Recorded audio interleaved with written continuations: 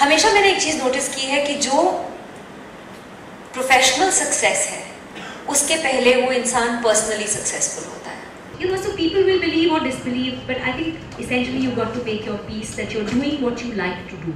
And that's success by itself. Family को अगर खुश नहीं रख सकते तो दुनिया जहान को खुश रख के क्या फ़ायदा so family time is crucial time और अगर कई बार भीड़ में भी रह के अगर अपने अंदर हम जा सकें और अपने अंदर को एक्सपैंड कर सकें to include everybody into our energy with love तो जो काम बहुत मुश्किल से फंस फंस के होता है, वो बहुत आसानी से और प्यार से हो जाता है।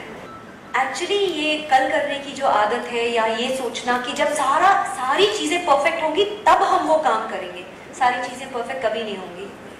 जस्ट डू द वर्क थकान एक ऐसी चीज़ है जो हमारा इंटरनल एक बेंचमार्क है कि हम थक गए हैं, इसके आगे नहीं कर सकते।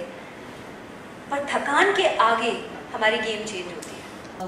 There is a very beautiful Buddhist saying which is a three point checklist there has to be beauty there has to be goodness which means that in some way it must benefit not just me but also society and there must be gain so beauty goodness and gain gain from the perspective of it doesn't have to be money. It should be reputation, it should be experience, it should be contacts, it should be the ability to expand my horizons, train myself.